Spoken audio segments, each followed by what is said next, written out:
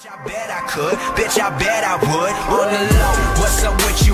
Bitch, you smoking bitch, you know, bust like 44 when I spit that. The Green Bay Packers are terrible, and it's time to PNIC every week. The Washington Post's Mark Maske gives inside and out Monday morning NFL examination with first and 10, a dismemberment of the group's most critical improvements from a few days of action. This is no opportunity to RELX for the Green Bay Packers. An incredible inverse, truth be told. It's an ideal opportunity to freeze.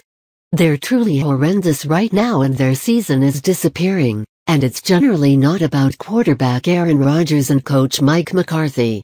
It's about their protection, which can't cover anybody and can't stop anybody. The Packers lost to the Washington Redskins, 42-24, on Sunday night at FedEx Field to drop to 4-6. They've lost four straight amusements and five of six. They're two recreations behind the Detroit Lions and Minnesota Vikings in the NFC North. We see obviously what's before us, McCarthy said after the amusement.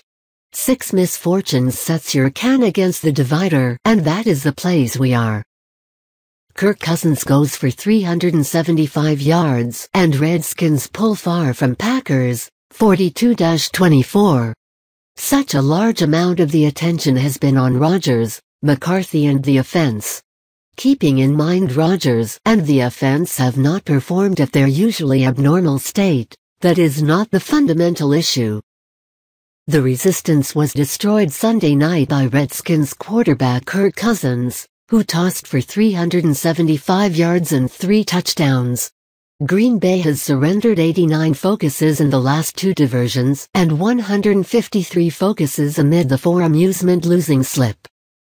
Kirk Cousins is beginning to seem as though he may be justified regardless of the Redskins' money.